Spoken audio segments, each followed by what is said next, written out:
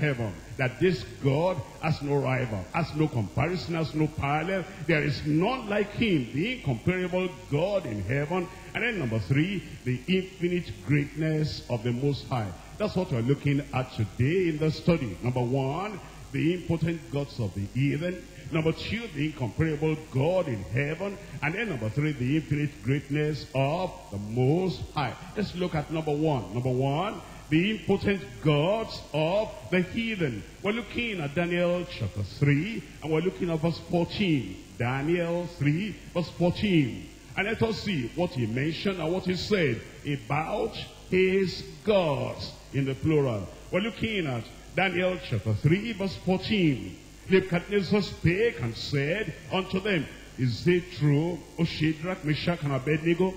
Do ye not worship my gods, my gods, and not worship the golden image which I have set up? Here, he referred to his gods, but how mighty, how powerful, how significant are those gods? They were nothing because they couldn't deliver the people from the fire. The gods of Nebuchadnezzar were of his own making, but our God is our maker. What the difference. Man is powerless, and the God he makes and worships is impotent, powerless, and worthless. Man is vain, and his idol God is vanity. Indeed, those idols are lighter and less than vanity.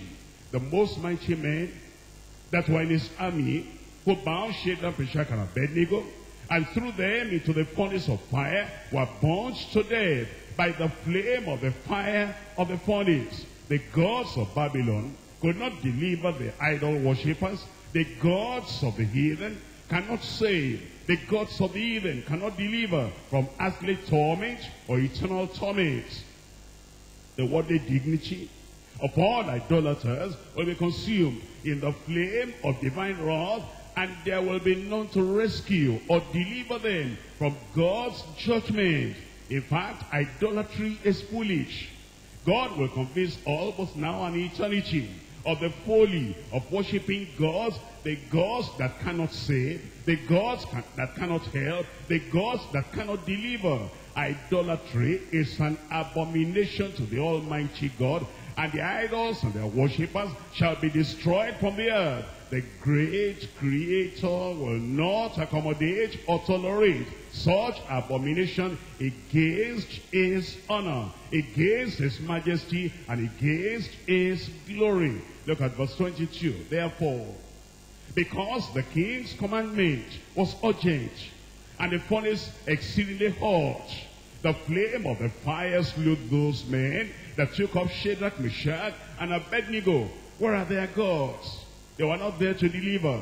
But in the case of Shadrach, Meshach, and Abednego, the God of heaven was there to deliver them in the hour of trial. Let's see what the Bible says about the gods of the heathen, the gods of the pagans, the gods of the people that do not know the true God in Isaiah chapter 45. Isaiah chapter 45. We're reading from verse 20. Isaiah 45, verse 20, Assemble yourselves and come. Draw near together, ye that are escaped of the nations. They have no knowledge that set up the wood of their graven image and pray to a God that cannot save. A God that cannot do what? That cannot save. You don't have any knowledge. They don't have any understanding. They don't have any wisdom. They do not have any revelation. The people that pray to a God that cannot save, that's the God of the heathen, the God that is impotent, the God that is powerless, and a God that cannot save, that cannot help, that cannot deliver. In Jeremiah chapter 10, I'm reading from verse 1. Jeremiah chapter 10, reading from verse 1. Hear ye the word which the Lord speaketh unto you, O house of Israel. Here is the word that the Lord Almighty God himself is declaring to you and to me. Thus says the Lord, Learn not the way of the heathen. Be not dismayed at the signs of heaven. For the heathen are dismayed at them. What that is saying is there are heathen people, they want to know the future. and they look at the heavens, they look at the stars, and they're watching the horoscopes. But the Lord is saying, don't you do that. It's worthless. It's confusing. Because the gods of the heathen that they are appealing to through those horoscopes, they deceive. And it is not real. It says in verse 3, For the custom of the people are vain. For one cutteth a tree out of the forest. The work of the hands of the workman with the axe. The deck each was silver and with gold. The fasting each was the nails and the hammers, that it moved not. They are upright as a palm tree, but speak not. They must needs be born, be carried, be lifted up, because they cannot go by themselves. Be not afraid of them, for they cannot do evil, neither also is it in them to do good. It's talking about the idols of the idol worshippers. Cannot do good and cannot do evil. But we have a God in heaven who is always doing good. And that God of heaven will do good to your soul and even to your life in Jesus' name. It says, abandon the worthless idols of the people and then submit yourself unto the God of heaven. In Jeremiah chapter 10 verse 11, Thus shall ye say unto them, the gods that have not made the heavens and the earth, even they shall perish from the earth, and from under these heavens is telling us that those idols, they've not done anything good. They have not created the universe. They have not created the earth or the heavens. Why are you paying any attention to them? Pay attention to God. He is the God of heaven and is above all gods in Psalm 115. Psalm 115, I'm reading from verse 3. It again describes for us the impotent, worthless, useless idols of the world, gods of the world.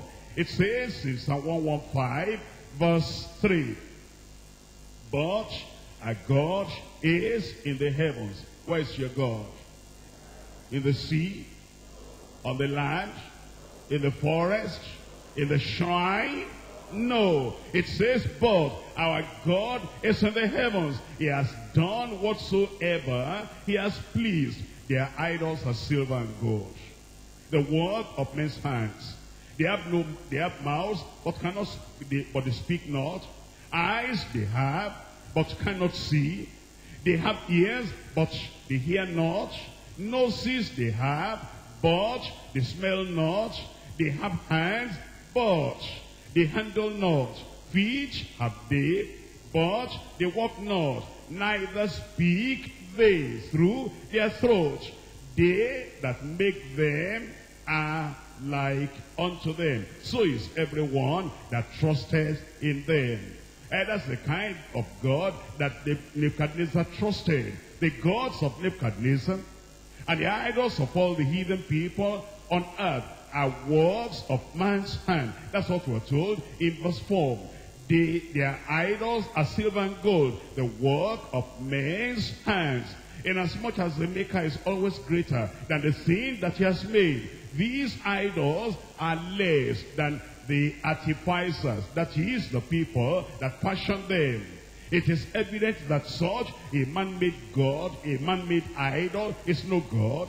Can there be any more, uh, can there be any more absurdity than that? That somebody is asking for assistance from them, from the people, from the idols that have no strength, that have no power. It says uh, these people, they don't have any portion of divinity in them, any portion of divine power in them. And the idols they make cannot have any portion of divinity, of divine power in them. All idols and all gods, whether they are silver or gold, whether they are wood or stone, whether the riches or pleasure, all those gods and idols are impotent. Am I right? They are worthless. Is that right? In the hour of need, they have no eyes to pity. They have no ears to hear. They have no tongue to counsel. They have no hand to help. An idol, a God that has eyes but cannot see, is blind, is a blind deity. He must be very blind indeed who worships the blind God. will pity a blind man, but how strange it is to worship a blind image. Nebuchadnezzar's image could not tell who its worshippers were and could not protect its worshippers nor punish those who refused to worship. That's what we're told here, that all these idols are nothing. We're not going to worship any idol. We're going to remain with the true and the faithful and the almighty God who is able to deliver. Let me show you an encounter with one of these idols of the land in 1 Samuel chapter 5. 1 Samuel chapter 5, I'm reading from verse 1. 1 Samuel chapter 5, reading from verse 1. And the Philistines took the ark of God and brought it from Ebenezer, from Ebenezer unto Ashdod. When the Philistines took the ark of God, they brought it into the house of Dagon and set it by Dagon. Now that Dagon was their god. It was their idol. I'm going to read verse 4, but I'm going to read first uh, verse 7. So you will see that the Dagon they're referring to was their God, not my God. I said not my God. My own God is the creator of the heavens and the earth. He is in heaven and he does great and marvelous things. But in their own case, the Philistines, their idol, their God was Dagon. Look at verse 7. And when the men of Ashdod saw that it was so, they said, the ark of the God of Israel shall not abide with us, for his hand is sore upon us and upon Dagon our God. That was their God. Dagon, that was their God. But let's see the encounter here in verse 3 now. And when day of Ashdod arose early, in the, early on the morrow, behold, Dagon was falling upon his face to the earth before the ark of the Lord. The gods of this world will fall before the Lord. They will be destroyed. Their power will not stand and will not hold in Jesus' name. And they took Dagon, they had to carry him, he didn't have any power of his own. And they took Dagon and set him in his place again. Verse 4, And when they arose early on the morrow morning, behold, Dagon was falling upon his face to the ground before the ark of the Lord. And the head of Dagon, both the palms of his hand, were cut off upon the threshold. Only the stump of Dagon was left to him just the presence of the ark of God in that place that they are taking from the um, Hophni and Phinehas, the sons of Eli. Just the presence of that ark destroyed and broke in pieces that Dagon. Doesn't that show you how mighty our God is? If the ark, not even God himself, the ark of God a representation of God. If that will make the Dagon to fall down and the head off and the hands up and everything up, only the stump remaining, our God must be mighty and powerful.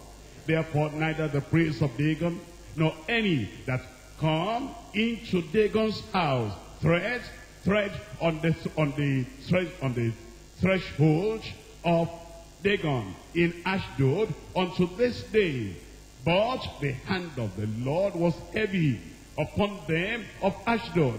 And then it says, and he destroyed them and smote them with emerods, even Ashdod and the coast thereof. And when the men of Ashdod saw that it was so, they said, the ark of the God of Israel shall not abide with us, for his hand is sore upon us and upon Dagon our God. Our God in heaven is so great and mighty. And no power can withstand him. That's why the Lord is challenging us. Come away from any trust, any confidence in the idols of the land. And trust in the God of heaven. And it will be well with you in Jesus' name. In Jeremiah chapter 11. Jeremiah chapter 11. Verse 12. Then shall the cities of Judah and inhabitants of Jerusalem go and cry unto the gods, small g, the idols, unto whom they have offered incense.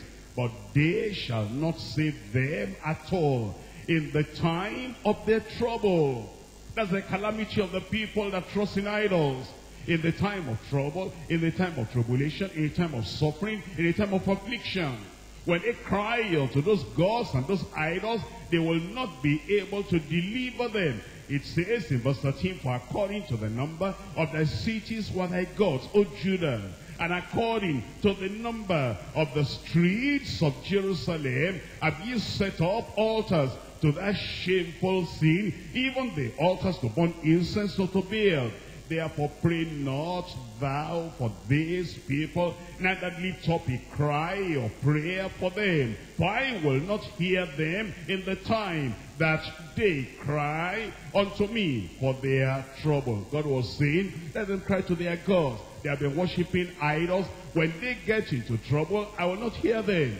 And I'm not going to answer any prayer on their behalf. I want them to prove the impotency of their gods and the insufficiency of their gods and the worthlessness of their gods. What are we to do then? We're to abandon those idols and we're to make sure that we put our heart, our life on the Lord God alone and our God will deliver us. Acts of the Apostles chapter 19. Acts of the Apostles chapter 19. We're reading from verse 18. Acts chapter 19. We're looking at verse 18 as well as verse 19. And many that believed came and confessed and showed their deeds. And it says in verse 19, and many of them also, which used curious eyes, brought their books together.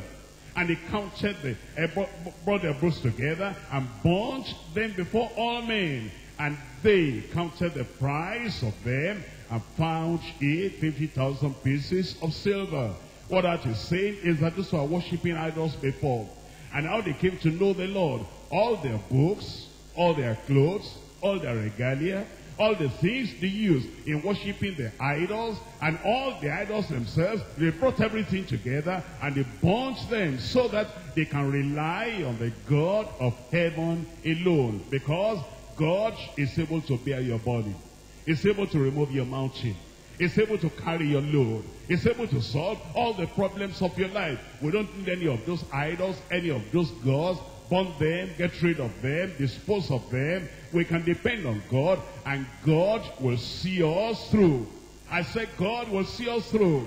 His power will not fail. His promises will not fail. His promises are yes and amen in Christ. Those idols mean nothing. Those idols can do nothing. But our God, the God of heaven, He is the one that is able to deliver. He will deliver us in Jesus' name. And if you have anybody around you still bowing down to idol and still worshiping idol, why don't you show them the light of the word of God and the revelation that those idols, they mean nothing. Those idols will amount to nothing. That we are standing in the strength of the Lord, in the power of the Lord. And as we stand with the Lord, the promises of God will work mightily in our lives in Jesus' name. And now, but you must serve God and serve him alone. Not God and an idol, not God and another thing. God and God alone must be your confidence. And if God and God alone is your confidence, then he will see you through in every challenge of life in Jesus' name. I come to point number two, the incomparable God in heaven. We're looking at Daniel chapter 3, verse 29. Daniel chapter 3. We're looking at verse 29. Therefore, I make a decree that every people, nation, and language which speak anything amiss against the God of Shadrach, Meshach, and Abednego shall be cut in pieces, and their houses shall be made a dunghill, because, because there is no other God. Everybody, can you say that with me? There is no other God that can deliver after this sort. That shows us how incomparable our God is to any God in this world, any God of the earth. It tells us in the word of God that this God, there's nobody, there's no other God like him. I want you to look at Psalm 89. Psalm 89, we're looking at verses 5 through 9. Psalm 89